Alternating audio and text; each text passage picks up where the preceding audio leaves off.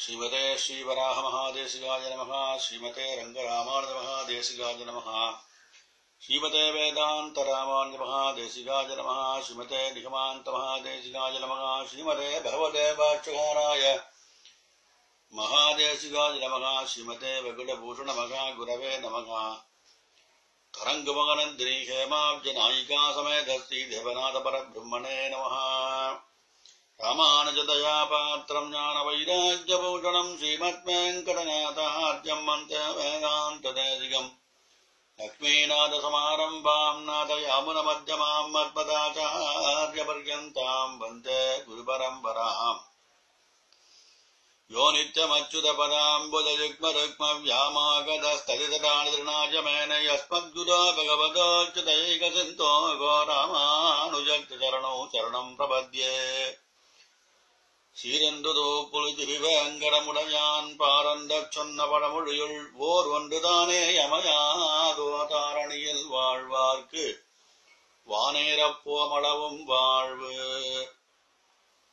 கட்டப்பொருள் விரித்த காசிரியின் ஆன்மறையின் இட்டப்பொருள் எம்பும் என்பொருளை சித்தருதொழும் வேதாந்த தேசிகனை மேவுவார் தங்கள் திருப்பாதாம்புயமடியேன் பற்றிய கீதை ஒழிந்தருளும் வேதாந்த தேசிகனார். பாதாரவிந்த மலர் பத்தியுடன் என் பற்று. ஸ்மிதே நிகமாந்த மகாதேசிகாய நமகா பரம சௌலபியனாய பெருமாள் இந்த ஜீவாத்மா மேலே பரிவோடு இருந்து நாகபரியங்க சாகியானவன் கீழே இறங்கி வந்து கிருஷ்ணாவதாரம் பண்ணி நமக்கெல்லாம் கீதை என்று அரியப்பு பொக்கிஷத்தை கொடுத்துட்டு இருக்கார் அதை சுவாமி தேசி தேசிகன் தந்து அந்த கீதா சங்கரம் என்ற கிரந்தத்தை நாம் இப்ப சேவிச்சுட்டு இருக்கோம் முதல் இந்த பத்தொன்பதாவது வாசனம் இப்போ நம்ம சேவிச்சுட்டு இருக்கோம் சத்துவவேல் உடையினர் கருமம் தான் உகந்தமையும் சத்துவம் உள்ளதுதான் குறிக்கொள் வகை செய்தனவும். சத்துவனர் கிரிசை பயனும் சரணாகதியும். சத்துவமே தருவான் உரைத்தான் தனிப்பார்த்தனுக்கே. பெருமாள் இந்த பதினெட்டாவது அத்தியாயத்தை காய்ச்சிட்டு இருக்கார் நற்கருமம் உகந்தவையும் எது உகந்த கருமங்கள் சொன்னார். கத்திருத்துவத்தை விடணும்னு சாதிச்சார். அகம் என்ற அந்த மமதை விடு நான் செய்கிறேன் என்ற அந்த மமதை விட்டுடுன்னு சாதிச்சார். நீ செய்கின்ற காரியத்திலே கங்கெடுத்த பலனையும் தியாகம் பண்ணுன்னு சாதிச்சார். இப்படி மூன்று விதமான இந்த தியாகம் சந்நியாசம் சொல்லி விஷயத்த சொன்னார். அது சாத்விகமானது ரஜஸானது தாமச தியாகம் என்னன்னு பெருமாள் சாதிச்சார். அடுத்தது இந்த கர்ம குணங்களை பற்றி மூன்று வகைப்படுத்தின பெருமாள். சாத்விக கர்ணம் ராஜச தாமச. கர்மம்னு சொல்லி மூணு விதமா சாதிச்சு. சத்துவனர் பயனும் சரணாகதியும்னு சொல்லி இப்படிப்பட்டவன் இது எல்லாம் தெரிஞ்சு பண்றவன் வந்து என்ன என்ன என்னை ஸ்மரிக்கிறான். என்னை ஏன் ஸ்மரிக்கிறான்னு தெரிஞ்சுக்கோன்னு சொன்னேரப்பா நான் வந்து மத்தவா மாதிரி இல்லை. எல்லாவற்றிற்கும் நான் ஈஸ்வரன் எல்லா லோகங்களும் உண்டு பண்ணக்கூடிய காப்பாற்றுறவன் நான் தான் ஒரு விதமான ஹே குணம் இல்லாதவன் எல்லையில்லாத மேன்மையும் கணக்கிலடங்காத திருக்கல்யாண குணங்கள் உடையவன். ஞானபல ஐஸ்வர்ய வீரி சக்தி தேஜஸ் என்ற ஆறு குணங்கள். இந்த குணங்களுக்கு மேலும் விரிவடைஞ்சு சௌலபியம் சௌசீல்யம் காருண்யம் தயை வாத்சல்யம்னு விரிஞ்சு போறது. இது தெரிஞ்சுக்கோன்னு சொன்னார். என் திருமை ரொம்ப சௌந்தரியம்பா. திவ்யமங்கை விக்கிரகத்தை சேவிக்கிறது பாப நிவர்த்தகமா இருக்குன்னு பெருமாள் சாதிச்சு நான் ஒரு அமிர்த சாகரம்னு சொன்னார். எப்பையும் நான் பிராட்டிய பிரியாதவன் மகாலட்சுமியோடு அகரகில்லா திருமகளார் அன்பர் வந்தார் அண்டபடி இருப்பவன் சொன்னார். என்னுடைய திருமேனியானது ரொம்ப சௌந்தர்யம் செந்தாமரை கண்ணும் வைதிகரே என்னும்படியாக நான் பரம வைதிகமானவன் செந்தாமரை கண்களை உடையவன்பா அப்படின்னு தன்னுடைய கண்களுடைய அழக சொன்னார். இந்த உயிர்களும் உலகமும் என் சொத்து வேறு யாருக்கும் இது சொந்தமல்லன்னு சொன்னார். எல்லோருக்கும் நானே சுவாமின்னு சாதிச்சு இப்படிப்பட்ட குணங்களை என்னுடைய பக்தன் அதை தியானம் பண்றான்பா இப்படிப்பட்ட என்னுடைய விஷயங்களை தியானம் பண்றான் அப்படின்னு சொல்லி அது பர்யந்தான் நம்ம உபன்யாசத்தை நிறுத்திருக்கோம். இன்னைக்கு சேவிக்க வேண்டியது மேற்கொண்டு விஷயத்தை பெருமாள் சாய்கிறாருங்க அப்பா தெரிஞ்சுக்கோ நான் எப்படிப்பட்டவனாகவும் எவ்வளவாகவும் எவ்வளவாகவும் அறிகிறேனோ அப்படிப்பட்ட என்னை பக்தியினாலே உள்ளபடியே அறிகிறான் அந்த ஞானியின் சாட்சியம் என்னை உள்ளபடியே இருந்து அதற்கு பிறகு மேலும் பக்தியினாலே அடைந்து வருகிறான். அதாவது பக்தி என்பது என்ன? பிரீத்தியோடு பெருமாள் நினைத்து தியானம் பண்றதுன்னு சாட்சியாருங்க என்னை ஆசிரியத்தவனாய் கொண்டு அதாவது என்னிடத்துல பலன் முதலிய ஒரு காரியம் பண்ணும்போது பலன் வருது. அந்த பலத்தையும் என்னிடத்தை சமர்ப்பித்து விட்டு இவன் செய்கிற எல்லா கர்மங்களும் எப்பொழுதும் செய்து கொண்டிருப்பவனாயிருக்கான். அது என்னோட அனுகிரகத்தினாலே அழிவில்லாத குறைவில்லாத அதாவது நான் குறைவனா ஒரு பின்னமில்லாத பூர்த்தி அடைய அதை அடைய வேண்டிய பிரயோஜனமாகவும் என்னையே வந்து அடைகிறான் அப்படின்னு பெருமாள் சொல்கிறார்.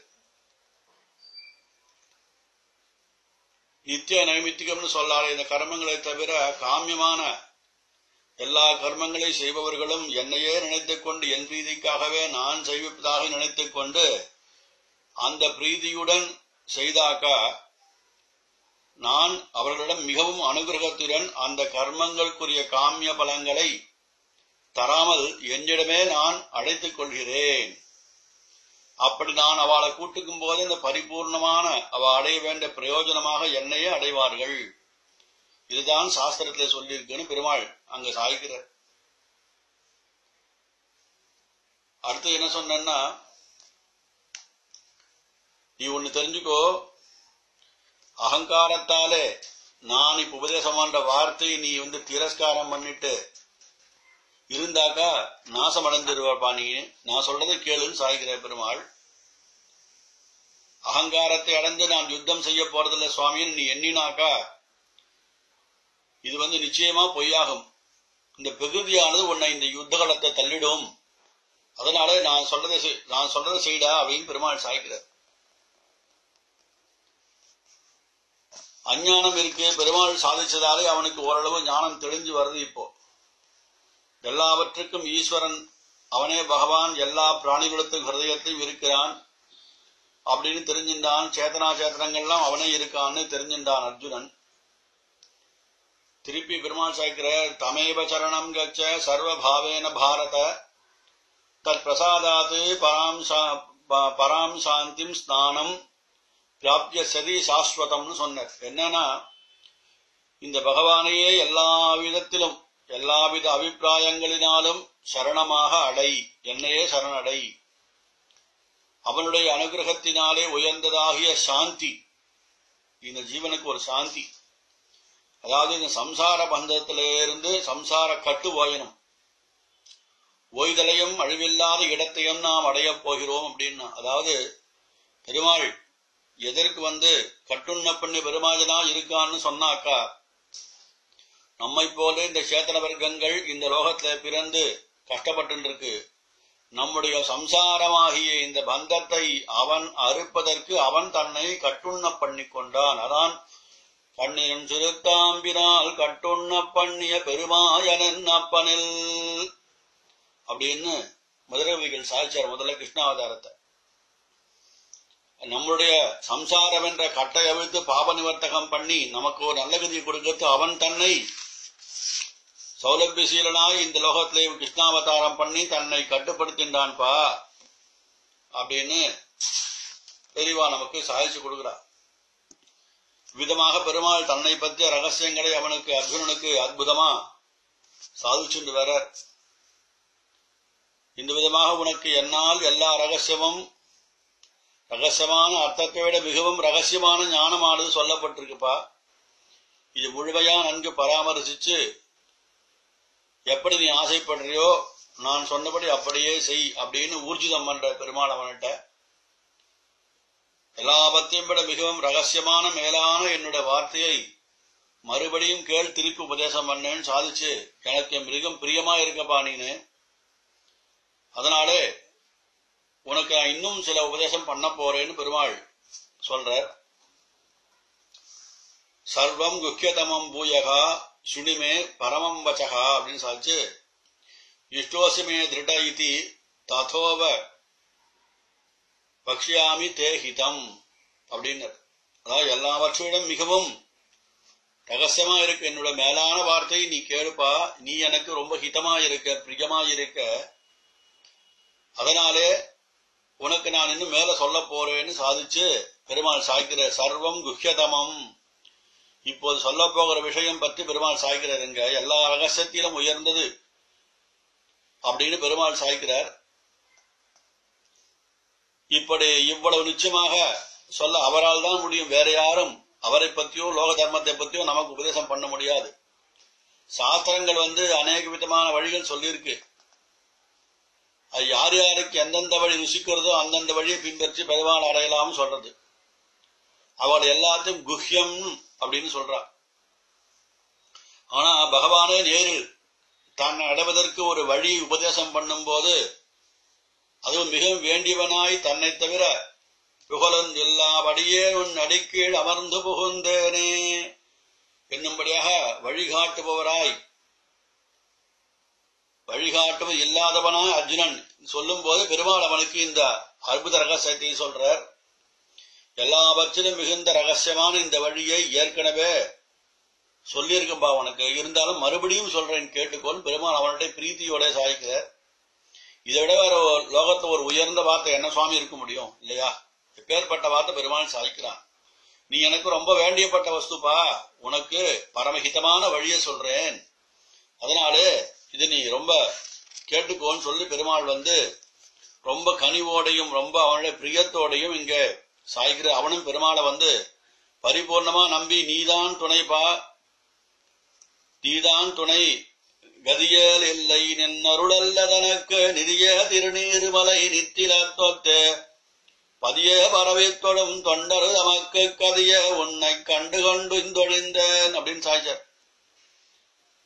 அப்படி இவன் பெருமாளிடத்த பரம பிரீத்தியோட இருக்கான். என்னிடத்துல பெருமாள் சாகிறார் உன் குழப்பத்தெல்லாம் விடு நான் சொல்ல உபதேசம் கேளுப்பான்னு சொல்லி என்னிடத்திலே பக்தியை கொண்டவனாய் என்னிடத்திலே செலுத்தப்பட்ட அந்த மனசை உடையவனாய் இரு எப்பயுமே.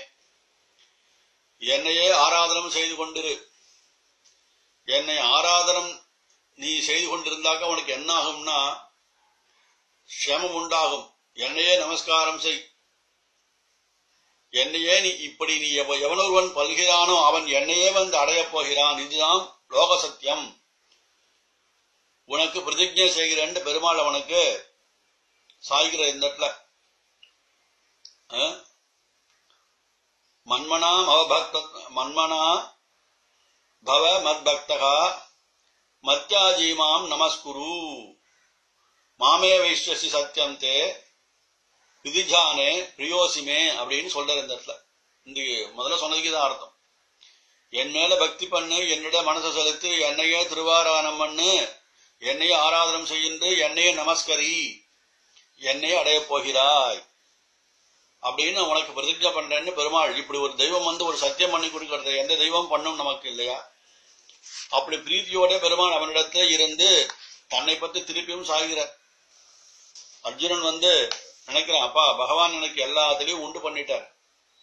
இப்ப ஆத்மா உடம்புல பிறப்பிறப்பு இல்லாதவன் பகவானை போலவேதான் இந்த ஆத்மா இருக்கு. பகவான் நான் அதாவது ஒவ்வொரு ஜீவனும் பகவானுடைய வேலைக்காரன் தெரிஞ்சிடா பகவான் தான் நமக்கு எதமானன் தெரிஞ்சின்றான். நம்முடைய முக்கிய உத்தரகத்தியமானது அவனுக்கு கைங்கிரம் பண்ணுவது அவனிட்ட கைங்கிரத்தை பண்ணுவது அவன் திருவுள்ளத்தை சந்தோஷப்படுத்தி இருக்க வேண்டியது. இப்போ நம்ம என்ன பண்றோம்? இப்போ இந்த பாடும் உடம்புல சிறையில் இருந்து அல்லல் பட்டு இருக்கோம் பகவானை நேரு பார்த்த பிறகு அவனிட போவதற்கு துடிக்கிறது. அதற்கு வழி என்ன சுவாமி? கர்மயோகம் பக்தி யோகம் என்றெல்லாம் பெருமாள் சாதிச்சார். உனக்கு எந்த வழி முக்கியமோ அந்த வழியில தொடர்ந்து போகணும்னு சொன்னார். அடுத்தது என்ன சொன்னார்ப்பா? இதையும் தெரிஞ்சுக்கோ இது என்னை ஆராதி. நான் அனாதியானவன். நான் இஷ்ட பண்ணு. அப்படின்னு சொன்னார்.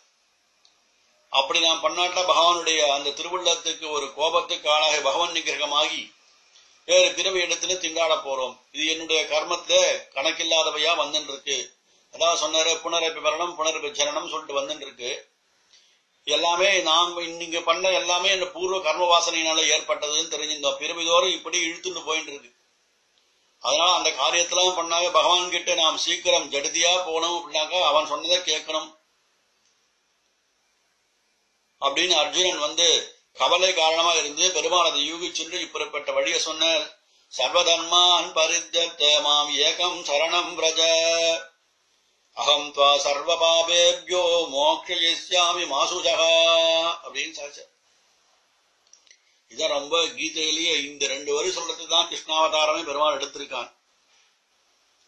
கர்மயோகம் பக்தியோகம் ஞானயோகம் முதலான எல்லா தர்மங்களையும் மேலே பெருமான் இந்த பதினேழு அத்தியாயத்தை சொன்ன மாதிரி தியாகம் செய்துவிட்டு சாத்வீகமான ஒரு தியாகம் செய்துவிட்டு அவர்களை செய்து கொண்டே அவர்களிலே கருத்துவம் முதலிய பலங்களையும் விட்டு கொடுத்துட்டு என் ஒருவனையே ரட்சிப்பவனாக நீ எண்ணி அந்த கர்மங்களினாலே ஆராதிக்கப்பட்டு அவைகளிலே பலன் கொடுப்பவனாக அனுசந்தானம் செய்யப்பா.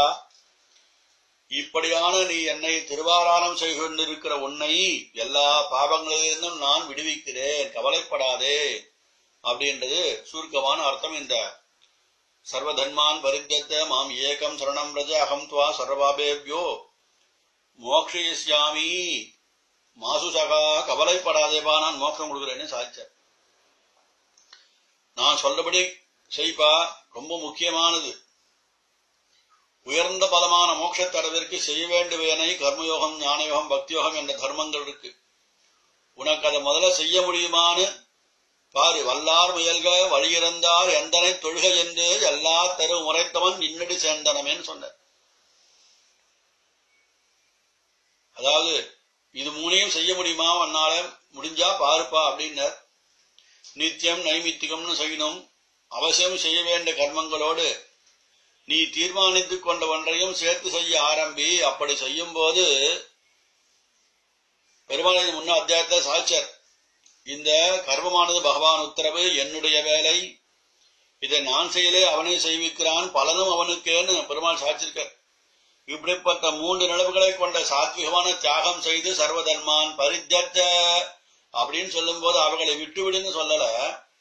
நீ மேற்கொண்ட தர்மங்களை அனுஷ்டிச்சுண்டே அதாவது செய்து கொண்டே பரித்தஜ நான் செய்கிறேன் என்ற என் வேலை எனக்கு பலன் என்ன மூன்றையும் விட அதுதான் பரித்தஜுக்கு அர்த்தம்னு சாதித்த பெரிவாங்க இப்படியாக இந்த சாத்வி தியாகம் பண்ணிக்கொண்டு மாம் ஏகம் சரணம் பிரஜ என் ஒருவனையே எல்லா வேலைகளையும் செய்கிறவனாயும் அடையத் தகுந்தவனாயும் எல்லா லோகத்திலவருக்கு சகல ஜீவர்களுக்கும் எல்லா க்ஷேமங்களையும் கொடுப்பவனாயும் என்ன நினைச்சு கோல் கிருஷ்ணன் சாகிறாருங்க.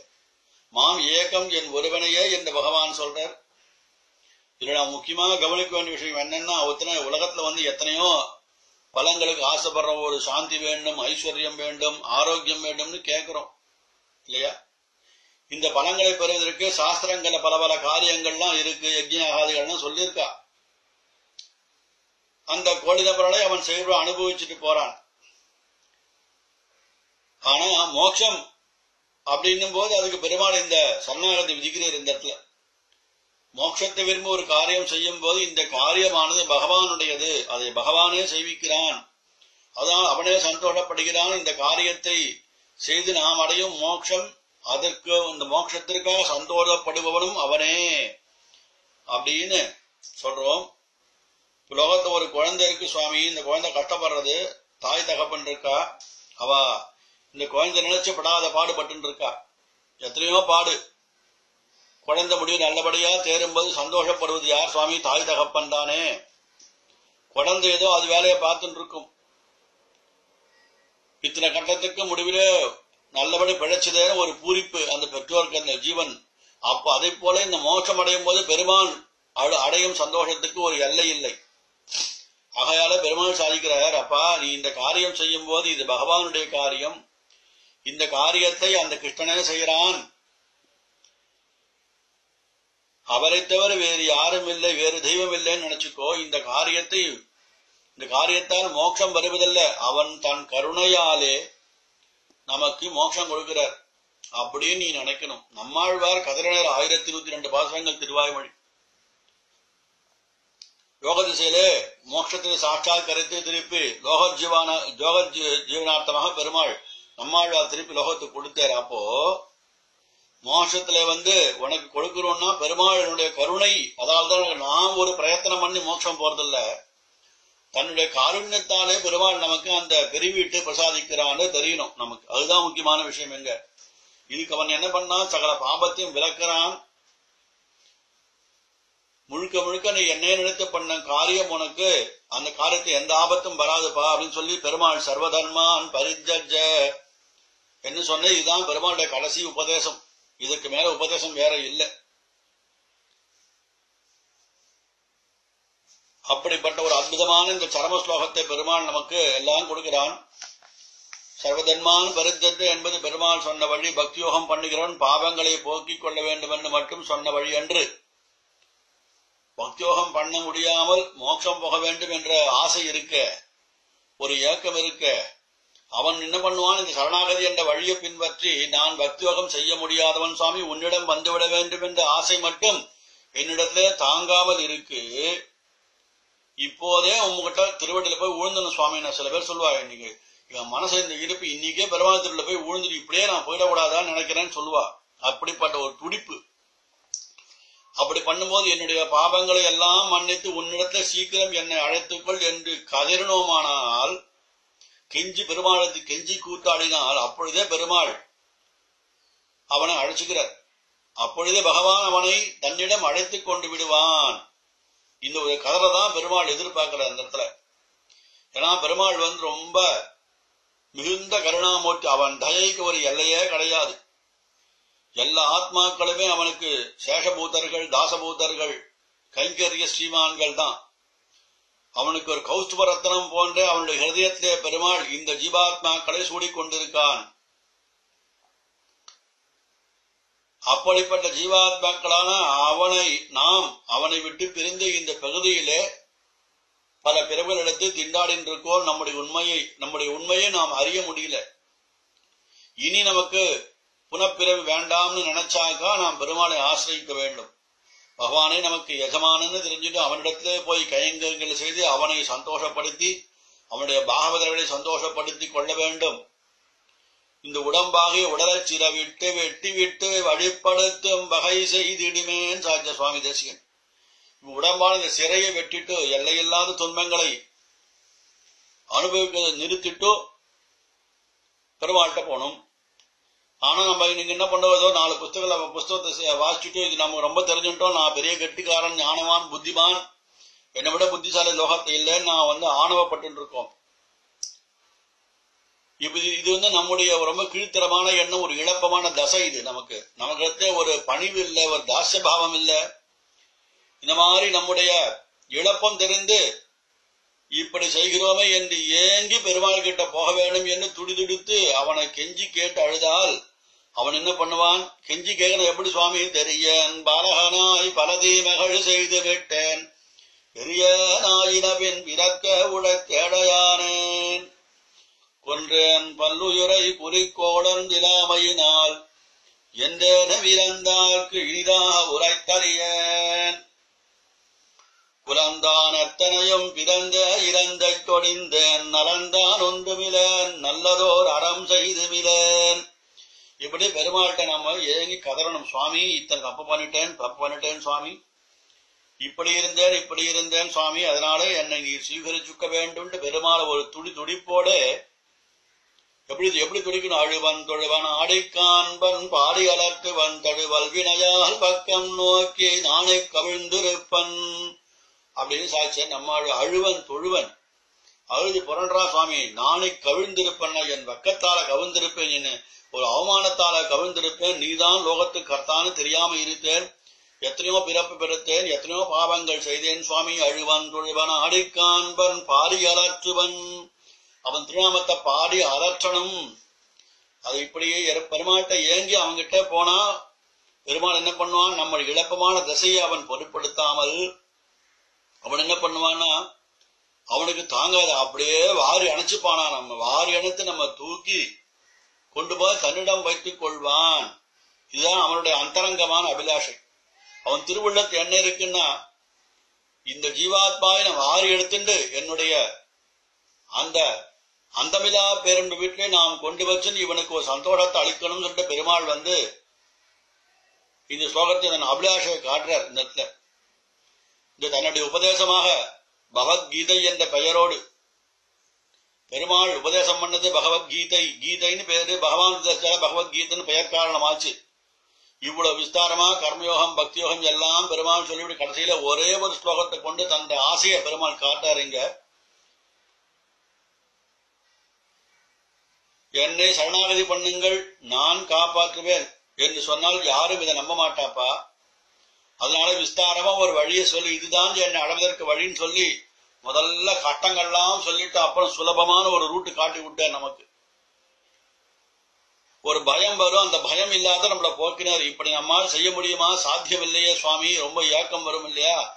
அந்த ஏக்கத்தை போக்கி சம்சார சாகரத்திலேருந்து நம்மளை தப்பு விற்கிறதுக்கு ஒரு ஒரு சமுதிரத்தை கடக்கக்கூடிய ஒரு விஷயத்துக்கு அதுக்கு ஒரு ஒரு தோணியாய் வைகுந்தரன் பதோர் தோணி பெறாது உடல்கின்ற ஆண்டாள் நாச்சியார்.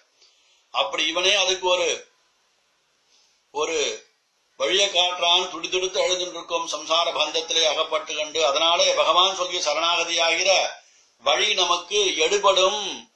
நாம் சொன்ன வழி இந்த ஜீவாத்மா கடத்தை எடுபடும் தான் பெருமாள் இந்த கீதை கடைசி கர்ம ஸ்லோகத்தை நமக்கு சரணாகதி மார்க்கமாக நமக்கு இங்க காட்டிருக்க அவன் காப்பாற்றுவான் அவன் வார்த்தைய ஒரு நம்பிக்கை ஒரு மகா விசுவாசம் அவன் நின்னைய சரணாக வடைந்தேன் அப்படின்னு அருணக்கணன் பாதமே சரணாக தந்துகந்தாய் உனக்கோரு கைமாறு நானொன்றிலேன் எனது ஆவியம் புனதே.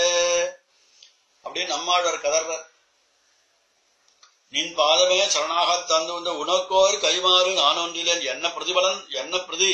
செய்ய போறேன். நீ பண்ற இந்த பெரிய உபகார பேருபகாரத்துக்கு நான் என்ன செய்ய போறேன்பா? அப்படின்னு ஆழ்வார் பெருமாள்கிட்ட கதை கைமாறு நானொன்றிலேன் எனது ஆவியும் உனதே. இந்த ஆவி ஒண்ணுதுப்பா ஒன் சொத்து. இது இது இந்த ஞானம் தான் வரணும்னு பெருமாள் அர்ஜுனிடத்துல ஆசைப்பட்ட இந்த ஸ்லோகம் ரொம்ப உயர்ந்தான ஸ்லோகம். சர்வ தன்மான் பரித்தத்தை மாம் ஏகம் சரணம் பிரஜே அகந்த்வா சர்வாபேவியோ. மோக்ஷயிசாமி மாசுதகாய் இந்த ஸ்லோகமானது அற்புதமான ஸ்லோகம். ஆச்சார இடத்துல அல சகல ஆச்சாரம் உயர்ந்ததா? அவ திருவுள்ள உகந்த ஸ்லோகம் இது.